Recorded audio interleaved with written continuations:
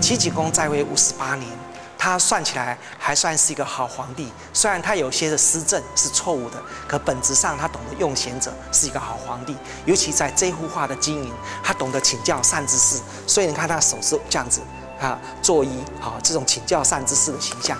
既然是交谈，既然是请教，所以这两个眼神要相相交。齐景公的背后就是齐景公所带来的官员，孔子的背后是孔子所带来的学生。那为了表现一个是屋外，一个是屋内，所以画家一条线来表现屋外屋内，后面就是画家最擅长画的松树。松树里面有显有隐，有实有虚，看起来就是一个蒙蒙的一个松树海啊。然后松树又可以画出它的笔法、它的神韵、它的气象。如果夏天站在这里啊，观想风一吹啊，吹出那个松涛。那作者姜老师啊，他是画松的高手。他在北京西山戒台寺跟潭柘寺看到了六朝的古松，那不但写生啊，不但这个讲究画松的这个画法，更表达松树的神韵。所以，如果在想要对国画有所进步的人，呃。在山水画、人物画当中，还要特别看看姜老师来画的松。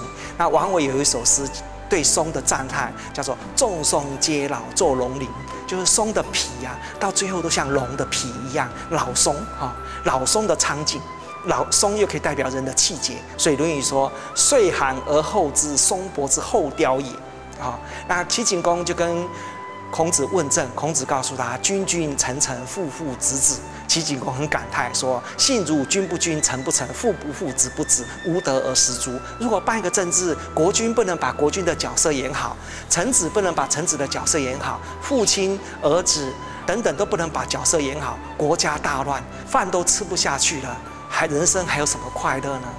其实孔子讲这个是为政的大道理，其实也暗藏着齐景公为政的危机。因为齐景公在国家里面不能够真正把他的国君的角色扮演好。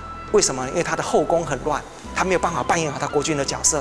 那臣子里面呢，还有高家，还有陈家这边两派的为敌，齐景公不能处理，叫做臣不臣。那齐景公在后宫又不能立太子，哈，不能把父亲的角色演好，叫父不父。那齐景公一死啊，两个儿子争国又子不子，其实他的危机在这里。孔子早就知道危机。孔子上讲一大堆的大道理，君君臣臣，父父子子。有的解释是说，是为政的纲领。可是有一家的解释更好，那是齐景公为政的危机。读画者有没有想过，一个三十几岁的年轻人出国到国家的时候，竟然蒙到他国君的招待、请教。所以，我们读书人如果读他三十几岁的时候，那个读书气象万千、周游世界的时候，各国的国君都出来招待、请教为政。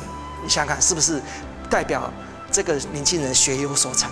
我们孔子就是我们年轻学有所成最好的榜样。读这幅画里面，除了读出作者的画法、画的神韵，还要读出他的历史文化，还要读出他的教育价值。教育价值就是说，我们莫待老来方学，哈，方学道，方学佛，方学儒。